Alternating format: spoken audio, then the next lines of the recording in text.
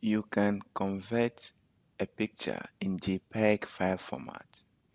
So this picture is currently in that file format. JPG, JPEG. Now to convert it to any other file format, you right click on it. Then you come to open with, select paint or paint 3D. So we are using paint. If you want to resize this picture, you can just click here and you come to pixels and change the pixels if you want. So I want it to be by default, so I'll just cancel this.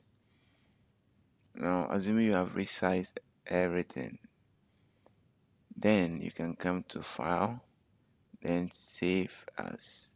So we have the different file format that you can save this picture in PNG, BMP, GIF. So you just select PNG file format. Then click Save. So you save in the folder you want. Now here we can see the PNG file format and the JPG file format here. Before you go, we have some new products for you.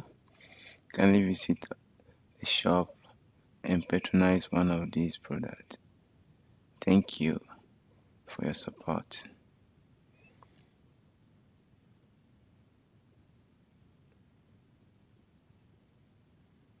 So we have the men's slim fit, we have the women's t-shirt, we have the unisex hoodie as well.